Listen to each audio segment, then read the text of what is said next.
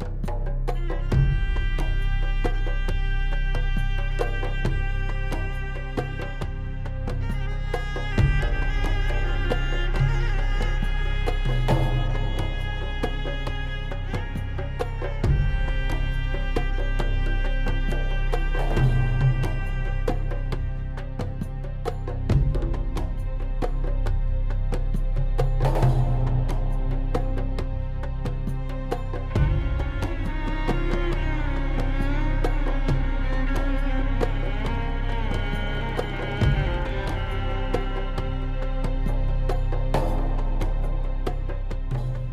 Honor killings are acts of violence, usually murder, committed by male family members against women who are perceived to have brought dishonor upon the family.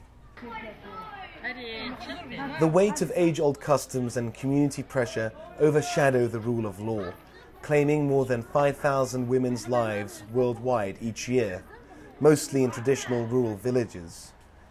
This film tackles this issue through the journey of a young Kurdish woman who is struggling to change these ancient and deadly practices.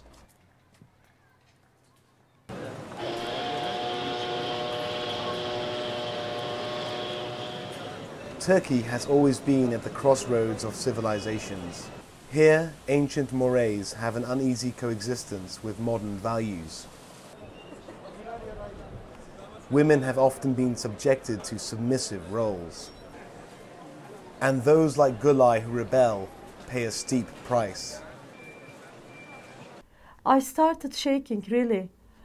And I, I started, when I came home, I didn't know how I came home. I came quickly. I said, Mother, what did you tell him? Did he call us? What did you say? Just I telephoned him, Father, I am home. I was on bus. I, I was on bus and I was late. I'm sorry.